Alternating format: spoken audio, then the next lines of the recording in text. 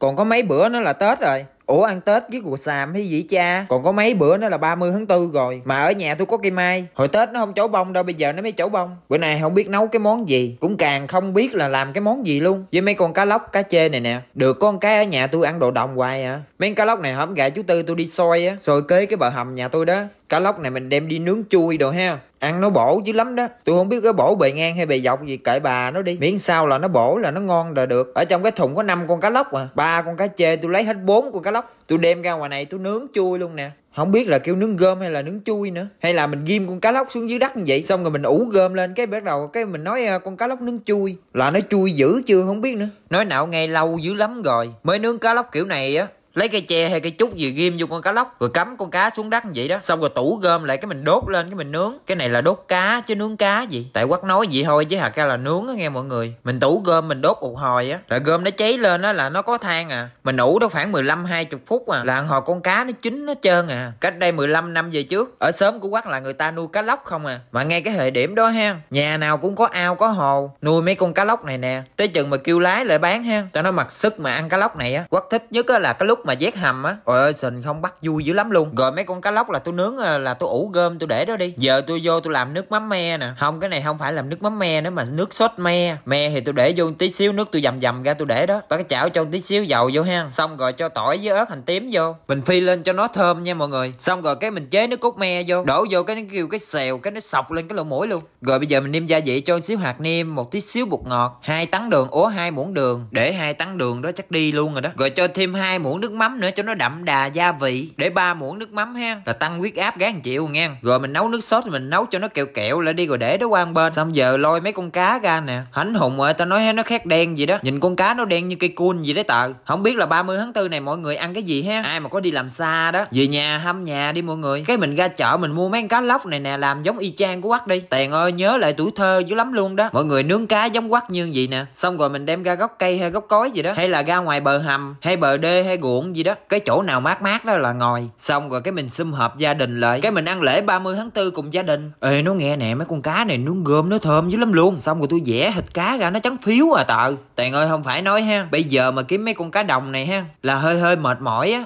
Còn ở quê quê như quắc chị ha muốn ăn thì cũng có đó mà hơi cực một tí xíu. Đi ra đồng bắc thì cũng có đó mà cũng ít lắm mọi người ơi. Rồi bây giờ mời mọi người ăn cùng hai bà cháu nha. Ừ, cá nó ngọt lắm luôn á. Ăn nó ngọt quá ngon luôn mà cái đồng mà. Cũng rau vô trời ơi. Lâu lắm rồi mới ăn cá nướng gom trời. Cá lóc nướng gom này là cái dãy mình cạo cho thiệt là sạch ra nha mọi người. Cho nó bớt cái đen đen đó là mình ăn luôn cái da của nó. Mà kẹp với rau sống ăn cũng ngon mà mình cuốn với bánh tráng với bún gì ha. Ngon dữ lắm luôn á nghe. Cái gì vậy bà nội? Không có gì mà qua bằng cái lòng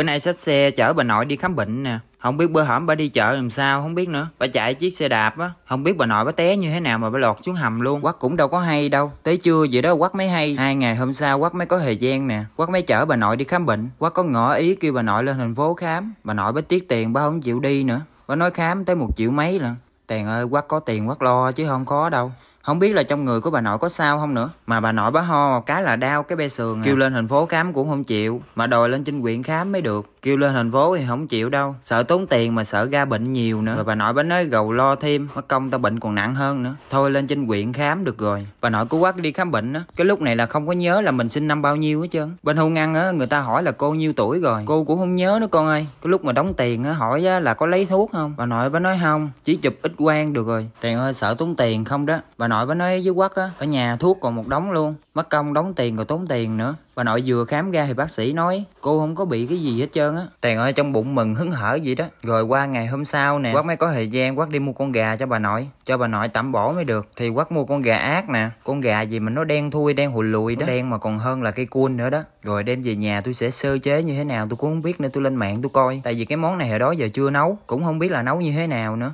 quát ra ngoài tiệm tập quá đó, mua cái bịch thuốc bắc nè 12 vị đó về nấu. Nhưng mà tôi nấu nước dừa nghe mọi người. Bắt cái nồi để nước dừa vô, xong rồi để 12 vị hút bắc vô. Mình để đó mình đun cho sôi đi. Còn con gà thì quát tẩm ướp gia vị trước. Muối với hạt niêm không à. Rồi bây giờ nước sôi rồi nè rồi quắt bỏ con gà ác vô. Mà không biết sao mà con gà này nó đen mà người ta kêu con gà ác nữa. Có ai biết không? Giải thích cho quắt biết nha. Chú quắt cũng không biết lịch sử của con gà này như thế nào nữa. Mà gà ác hầm hút bắt này á, đối với trẻ em hoặc là người già, mình hầm hút bắt ăn cực kỳ là bổ luôn. Nó có thể giúp cho mình dễ ngủ hơn sau khi ăn gà ác này á. Đặc biệt là gà ác hầm hút bắt nha quắt niêm gia vị thêm một tí xíu hạt niêm thôi. Chứ quắt không có niêm đường, niêm bột ngọt gì hết á. Niêm nhiều quá, nó mắc chắc hết trơn á mọi người. Gà hầm hút bắc này á quắt có để thêm là núm gơm với củ cà rốt, thêm củ cải trắng nữa. Lần đầu tiên làm cái con gà mà hầm hút bắc này luôn á. Nội mẹ con gà này gà châu phi hay gì á. Nó đen mà, nó đen một cái nó nghe chưa từng thấy. Mà nào giờ quắt cũng chưa ăn con gà này là ra làm sao nữa. Mà bà nội của quắt cũng chưa ăn lần nào luôn. Bữa nay nấu gà hầm hút bắc quá tẩm bổ cho bà nội, hồi phục lại sức khỏe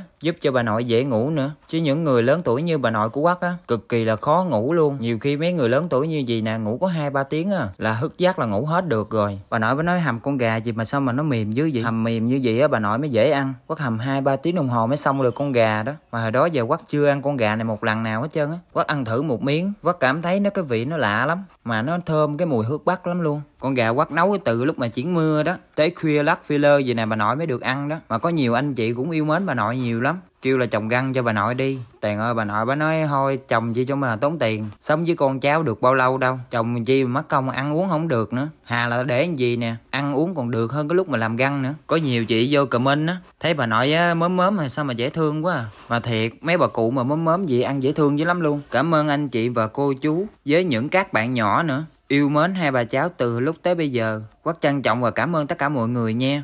Tèn ơi hổm ghệ dặn bà nội là đừng có đi chợ nữa. Mà bà lén lén bà đi nữa. À. Đã hôm bữa té hết một lần rồi Là quắc cũng sợ dữ lắm luôn. Tèn ơi bữa nay đi nữa đó. Không biết đi ra chợ bữa nay mua cái gì cho quắc nữa. Bữa hổm quắc đăng cái clip kia. Có nhiều anh chị hỏi bà nội khỏe chưa? Bà nội khỏe rồi nghe mọi người. Khỏe rồi đó bữa nay tiếp tục đi chợ nữa đó Tèn. Mày đâu rồi quắc Tao đi chợ tao mua tôm với mực về cho mày nè Trời ơi bữa giờ đi chạy xe té rồi mà còn đi mua Ừ mà tao thấy với mực nó rẻ quá đâu mà, mà người tư ngon nữa Tao mua cho mày đó. Ừ.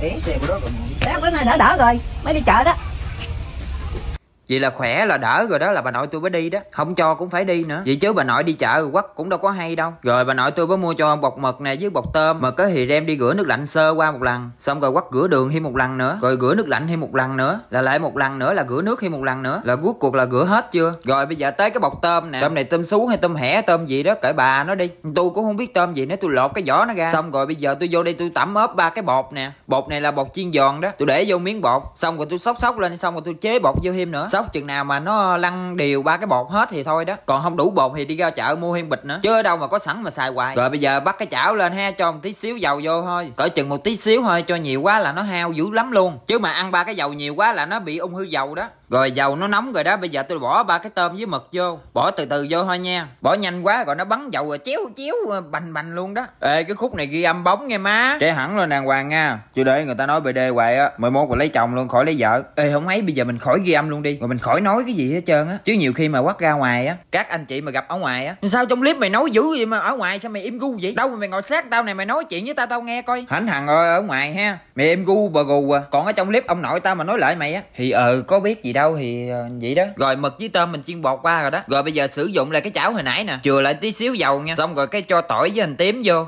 Phi cho nó vàng vàng cái mình để ớt vô. Rồi quát có chuẩn bị một tô nước khóm nè nói gì chứ mình sót gì chứ sốt khóm là nó thơm dữ lắm luôn. Rồi bây giờ cho hai muỗng nước mắm ha. Thì một tí xíu bột ngọt hai ba tấn được ố hai muỗng đường. Nhớ là cho hai muỗng hay nghe chứ cho hai ký vô là nó mặn lè luôn đó. Rồi mình à, nấu làm sao mà cho cái nước sốt này nó kẹo kẹo lại là được rồi đó. Là nó kẹo như vậy là ok rồi đó. Xong rồi cái mình bỏ tôm với mực mình chiên bột đó. Rồi mình xào qua xào lại cho nó thấm ba cái nước sốt vô. Rồi tôi tặng dụng cái nước sốt nó còn dư luôn. Miếng này tôi mua ngày hôm qua tôi chưa có ăn. Rồi hàng ngày hôm kia tôi để đó. Cái ngày hôm nay cái tôi để cho tôi xào luôn. Xào làm sao mà cho nó thấm ba cái nước sốt còn dư đó xong rồi bây giờ mình trang trí, mình đề co lên sao cũng được hết trơn á. Một chút xíu mình ăn vô lần hồi hết trơn à. Chứ ăn mà còn là tao nói là dông rồi đó. Không biết cỏ trên hay cỏ dưới đi lên nữa đây. Bữa nay tôi làm cái món này tôi cũng không biết cái món gì nữa. Cái gì mà tùm lum ba cái gia vị hết trơn. Rồi thêm miếng nữa tôi không biết cái món này là cái món gì luôn. Không ấy mình kêu cái món này là tôm mực sốt khóm đi. Nước sốt khóm, xào miếng còn dư. Rồi cuối cuộc là cái món gì tôi cũng không biết món gì luôn. Mà ta nói ha nước sốt khóm á, nó thơm gì đâu á. Bà nội bà nói ba cái hủ tiếu này ngon quá ha. Tại ơi, ba cái miếng nó tờ. Ngon hánh hùng luôn đó. Rồi hai bà cháu mời mọi người ăn cùng hai bà cháu nha còn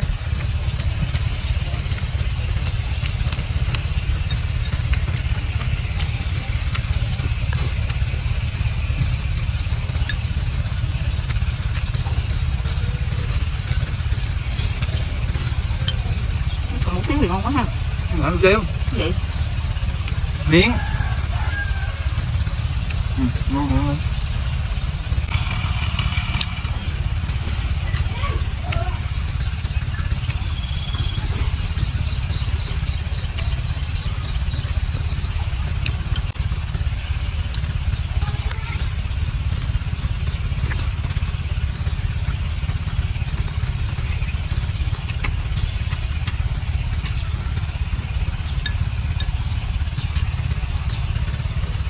Có ai mua sầu riêng không? Xin mời ghé quán em, em đây không có bán sầu riêng mà em vô vườn sầu riêng nghe quý vị. Bữa nay ra ngoài cái vườn nhà của ông Năm nè, sầu riêng đã đến mùa rồi. Tại ngồi ta nói ha, sầu riêng quá trời trái luôn. Sự góp mặt của nhỏ em báo Bình Dương. dâu vậy sầu riêng đâu có dâu đâu trời ơi Dâu Tại ngồi cái hàng cháu của tôi ha. Nó nói trái sầu riêng là trái dâu đó. Còn trái dưa hấu á thì nó kêu trái chuối. Nó gặp cậu ba nó còn một cái ha. Ê ê. Là nó khóc um sùm cho đất hết trơn. Sầu riêng thì đến mùa rồi đó nhưng mà chưa có chín đâu. Cũng còn lâu dữ lắm. Theo như quắc được biết á là ông năm ông nói sầu riêng đến mùa là một năm chờ mới có trái lần đó. Mà cái vườn sầu riêng này theo như quắc được biết trồng cách đây cũng mười mấy năm về trước á cũng lâu dữ lắm rồi đó. Mà nói gì nói chứ làm cái nghề nông này á không có bao giờ mà khỏe đâu. Tại ngồi cực dữ lắm luôn á một năm như vậy mới có trái mà để bán. Sẵn đây tôi giới thiệu cho mọi người luôn. Ông Năm có trồng trái vú sữa hoàng kim nữa nè. Trái vú sữa này nó cũng gần chín rồi đó. Nó mới có ửng vàng vàng hơi à. Nó cũng còn hơi xanh. Nó chín là nó vàng hực luôn. Ông Năm ổng đi vòng vòng, ổng kiếm được trái sầu riêng bị gụng nè. Cái trái sầu riêng của ông Năm ổng lụm á, Là trái sầu riêng nó non nha, Nó chưa có già. Rồi bây giờ ông Năm ổng lụm thêm một trái nữa nè, Mà nó bị gớt xuống nước á mọi người. Ông Năm khui ra cho coi thử, Bắt đầu kê cái lỗ mũi vô nha. Thúi mà. Nè nó vàng cơ mà nè không nè vàng nó bị hư. Nè. Nè. nó chưa tới tuổi nó hung. Đó thấy không? Nè.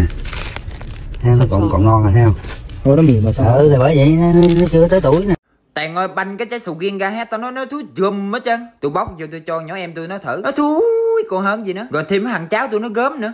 Nó nghe mùi thúi một cái là nó chạy không đó. Rồi sẵn ông năm nó cho trái sầu riêng nè. Thì à, trái sầu riêng nó non đó mà nó cũng chưa có chín nó khui ra cũng không có được nữa khui trái sầu riêng tưởng đâu là trẻ củi không đó. Mà cái muối sầu riêng nó còn non dữ lắm luôn. Nó chưa có già cho nên nó là nó không có được vàng. Mà mình ăn cái cỡ này là nó ngọt ngọt rồi đó. Mà mình hầm xương nó cũng ngọt nữa. Rồi sầu riêng thì sắc miếng miếng ra vậy đó, rồi khui cái hộp ra. Chứ để cái hộp ăn là nó chát. Tại vì cái hộp này nó vẫn còn non á. Rồi hành quả một trái sầu riêng ra một đống luôn. Hồi sớm giờ mọi người chưa biết làm cái món gì với sầu riêng này đúng không? Thì nè, thì nguyên con gà nè. Tao nói cái con gà này ha nó đi lội sình lội núi gì ha? Dính sình bụng không mắc tắm cho nó cả buổi chờ rồi mắc lấy rượu ở dưới xả. Trà tắm rửa cho nó massage cho nó. Cho nó sạch sẽ xong rồi cái mình chặt nó ra mình bỏ vô nồi thôi chứ không có gì hết trơn rồi nói chung là bữa nay tôi nấu con gà với sầu riêng đó. Mới đầu là tách ra được mấy miếng mỡ gà này nè. Tôi tính là tôi dục rồi. Kinh tế bây giờ eo hẹp dữ lắm sẵn lấy mỡ gà thắng luôn cho nó ra mỡ rồi mình để tỏi với hành tím vô mình phi lên cho nó thơm. Tại ngồi tao nói mỡ gà nó thơm nghe, mỡ gà mà không thơm mỡ gà. Chứ không lẽ là thơm bơ. Rồi tỏi với hành tím đó tôi phi lên cho nó thơm ha. Xong rồi để xả cộng vô. Rồi bây giờ mình để gà vô ha. Con gà này hồi sớm nó mới ghé ỏ o đó. Xong đem vô màn tao nói trứng dữ lắm luôn. Rồi cái con gà trống ở ngoài nó kêu cục tác cục tác. Là nó đang hát hay là nó đang chửi tôi cũng không biết nữa. Rồi thịt gà là tôi xào sơ rồi đó. Xong rồi quắt có để thêm một tí xíu ớt nữa. Rồi bỏ nước lạnh vô ha. Có nước dừa thì sử dụng nước dừa dừa ở nhà tôi nhiều dữ lắm luôn. Cây nó còn nhỏ nhỏ không mà nó chưa có trái. Tại là quên bẻ đó. Chứ mà nhớ nhớ là bứt gốc lên hết rồi. Cũng như thường lệ là có ba gia vị. Xíu hạt nêm xíu bột ngọt, một muỗng đường. Rồi muốn cho cái nồi lẩu mình nó tạo màu á. Mình để dầu điều hay là để sa tế gì cũng được. Cho nó óng ánh, cho nó đẹp tí xíu. Thịt gà thì nó chín rồi đó. Cái món chính ngày hôm nay là tôi để sầu riêng vô nè. Nấu chín rồi cho tí xíu nước mắm vô. Tiền ơi, tôi nói cái nồi lẩu này ha nó thơm gực gỡ luôn á ngang con gà mới gặp ỏ o ngoài kia. Giờ tội tình gì mà nhảy vô cái nồi lẩu không biết nữa. Mà nấu chung với sầu riêng nữa, chịu chịu sao nổi xong rồi múc ra cái mắng heo ha. Bữa nay đổi cái nồi rồi. Chuyển qua ăn cái mắng heo luôn. Lẩu gà sầu riêng thì mình ăn kèm với rau, mồng tơ nè, rồi bắp cải thêm đọt lan nữa, rồi núm nữa. Nhìn cái nồi lẩu mà nó sôi ùm ụp ùm ụp là thấy mê dữ lắm rồi đó. Thêm cái chén nước mắm ha, đổ gực luôn. Mà cái lẩu gà sầu riêng này á, mọi người ăn bún hay ăn mì gì cũng ngon hết trơn nữa. Theo yêu cầu của mọi người, hỏi ba mẹ của quắc đâu sao không lên clip. Ba mẹ của quắc ở ngoài bình dương á, về quê chơi lễ bữa nay chưa có đi nè. Sẵn bữa nay quắc nấu cái sầu riêng mà nấu với gà đó. Chiêu đãi ba mẹ với bà nội. Thêm con nhỏ em báo nữa. Bữa hổm tưởng đâu nó đi rồi. Bữa nay nó còn ở đây nè. Nó báo xương xương thôi, nó báo hánh hùng hiên địa luôn đó. Bà nội của quắc á, ít có ăn gà dữ lắm quắc để vô chén một miếng huyết nè với vài miếng sầu riêng cho bà nội ăn. Bà nội bà nói tẹn ơi hồi đó giờ ăn cái món này á sầu riêng mà nó ngọt mà nó thơm lắm luôn. Mà thiệt sầu riêng nó ngon lắm luôn. Nó có cái hậu ngọt ha. Nó béo béo nhẹ nhẹ mà nó thơm cái mùi sầu riêng. Ta nói nó ngon gì đâu á. Kết hợp với con gà nó là hết sảy. Hai mươi ký sầu riêng này dừng chân lại quán nhé quán em nè. Quán em bán trái sầu riêng. Ừ, sầu riêng nó, nó ngọt mà nó bùi lắm luôn á cũng lâu lắm rồi, gia đình em mới sum họp được như gì nè. Một cái bữa ăn ha rất chi là hạnh phúc luôn đó. Hiếm khi mà gia đình mình á, sum họp ăn uống được như gì một năm có dịp lễ nè, hay là đám dỗ đám quải gì đó, mới họp mặt lại rồi sum họp với nhau. Cùng nhau ăn uống tao nói nó vui gì đâu á.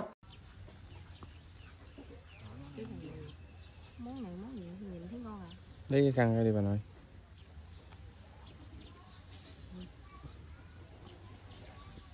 món này món gì vậy Chiên gà sốt thái mà ăn với dưa lưới sốt thái với dưa lưới đó ừ. à.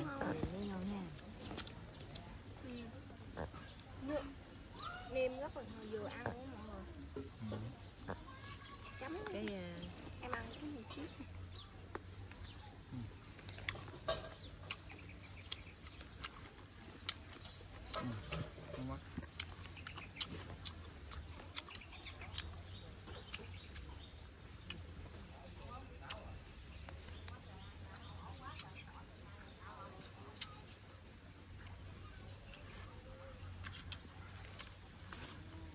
cái chua gà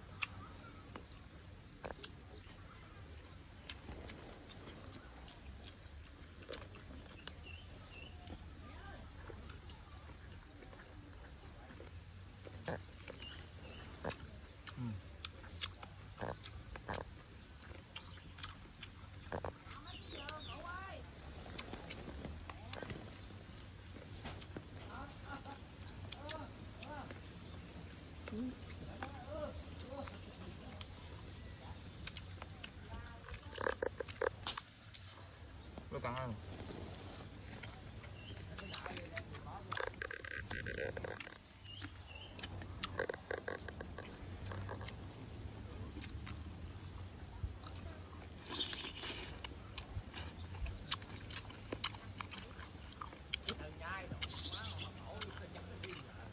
quay đừng có nói.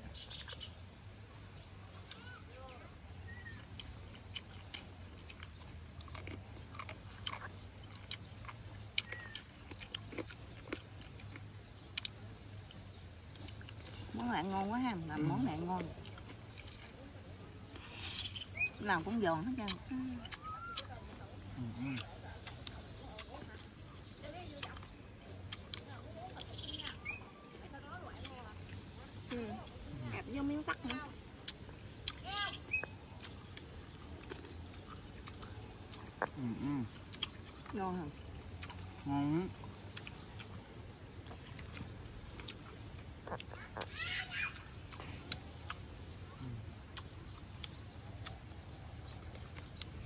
là không giòn không